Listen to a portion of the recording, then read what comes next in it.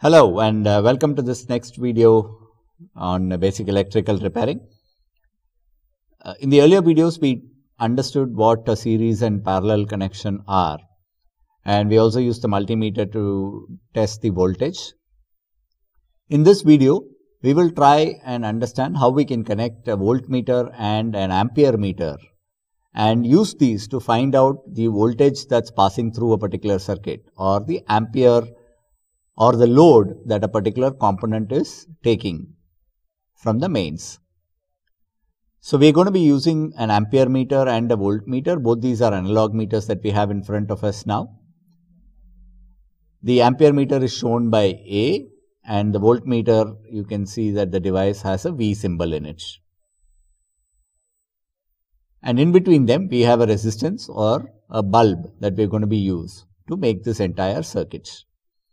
Now you must always remember that the ampere meter is always placed in a series connection and it's either placed in the neutral side or in the phase side. You can decide where you want to place the ampere meter.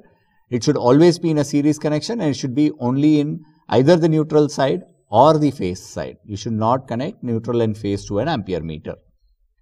Whereas a voltmeter is something that you will connect in a parallel connection and the voltmeter has two leads which need to be connected to the phase and neutral connections very clearly. So, you must always remember this particular aspect whenever you are using a voltmeter or an ammeter to try and check the voltage or ampere that's flowing through a particular circuit. So, this is the ampere meter, it's a, an analog ampere meter. We also have a lot of digital meters available today and we will show you one such meter in a little while from now. The ampere meter has uh, two leads and these two leads have to be connected in the series connection and should only be connected either in the phase side or either in the neutral side. You can choose where you want to connect them. If you are uh, connecting them in the neutral side, then you must connect both the ends on the neutral side only. In a voltmeter, you will always have a phase and a neutral and this is an analog voltmeter and both these leads need to be connected to the phase and neutral. So, the black can be connected to the neutral and the red one to the phase. We are going to be using a resistance here in the form of a bulb. This is a 200 watt bulb. It's a quite a heavy uh, uh, load and we are going to use this to show the load in the ampere because the smaller bulbs will take very less load and uh, an analog uh, ammeter may not be able to display the load very clearly and that is the reason why we are using a larger uh, capacity bulb, a 200 watt bulb to show the current or the load using the analog ampere meter. So, the connections are like this. On one end, we take one end of the ampere meter and then connect it to either the phase or the neutral. Take the other lead of the ampere meter and then connect it to the phase of the resistance 1. So, you have uh, lead 1 of ampere meter going to the mains, lead 2 of the ampere meter connected to lead 1 of R1. The lead 2 of R1 or the bulb is going to be connected to the neutral part of it.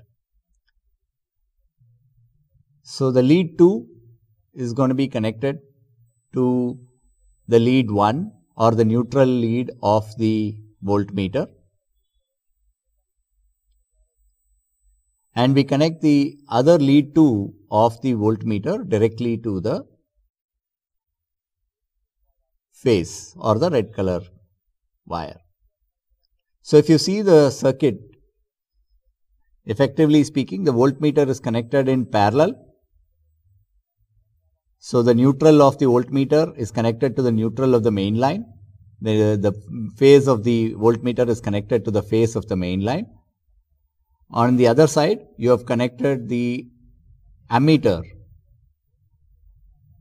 only in the phase line connecting the bulb to the main line. So, let us try and uh, take a look at the entire circuit once again. So, you have one end is connected to the mains, the phase, the other end of ammeter is connected to the lead 1 of R1. the lead 2 of R1 is then connected to the neutral point. The voltmeter is connected to the phase and neutral directly. So you can see that uh, so the phase is connected to the phase of voltmeter and the neutral is connected to the neutral of voltmeter. So voltmeter is in a parallel connection. It gets both positive phase and neutral. The bulb here has phase in neutral. Neutral is connected to the direct neutral point. The phase is connected to one end of the ampere meter.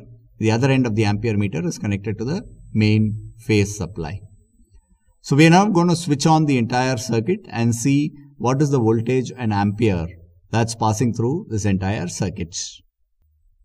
Now let's switch this on and see how much voltage and ampere is flowing through this. I'll turn it on and the circuit is on now. Now let's try and look at the voltmeter. The voltmeter has a reading of around 200 volts, so which is roughly what you get. And in the ampere meter is uh, roughly around 0.6 amperes. So voltmeter is roughly around 200 to 230 volts is an analog voltmeter. You can use a digital multimeter to exactly find out how much is it.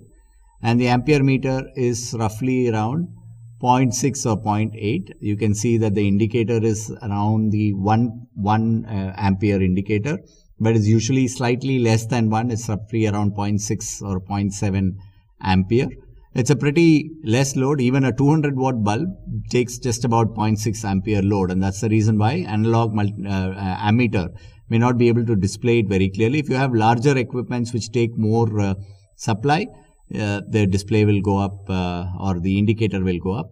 You can also find this ampere using a digital clamp meter or tong tester. You place it in the ampere 200 point position.